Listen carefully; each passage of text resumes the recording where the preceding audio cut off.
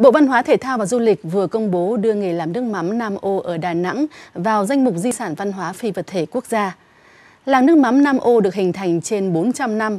Đây là một trong số ít làng nghề nước mắm truyền thống còn tồn tại trên cả nước. Nước mắm Nam Ô vang danh gần xa bởi vị mặn mòi của vùng biển miền Trung với bí quyết làm nước mắm thủ công ba cá một muối, được ủ một năm để tinh chế ra loại mắm ngon nhất. Với nước mắm Nam Ô truyền thống, nguyên liệu chính để chế biến nước mắm là từ cá cơm than được ngư dân đánh bắt vào đầu tháng 3 âm lịch. Cá được muối trong những chiếc chum gỗ mít, chèn một lớp sạn ở đáy chum. Hiện có hơn 100 hộ dân gắn bó với nghề làm nước mắm Nam Ô. Mỗi năm, làng nghề này cung cấp cho thị trường trong và ngoài nước hơn 50.000 lít nước mắm.